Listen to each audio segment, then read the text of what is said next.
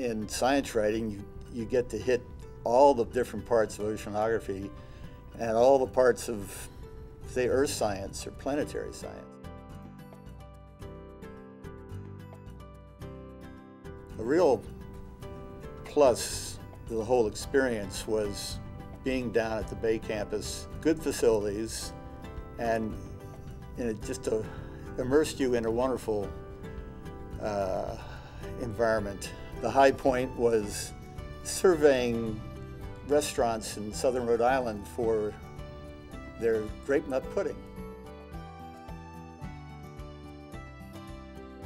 I think the biggest moment, or actually it was stretched over some years in the 1980s, was covering uh, one story, and that was the story about what killed the dinosaurs. It was memorable for me because, well, it's a, a big, exciting, uh, provocative story. It really drew on much of uh, my experience at URI. A week after defending my dissertation at URI, I was at Science.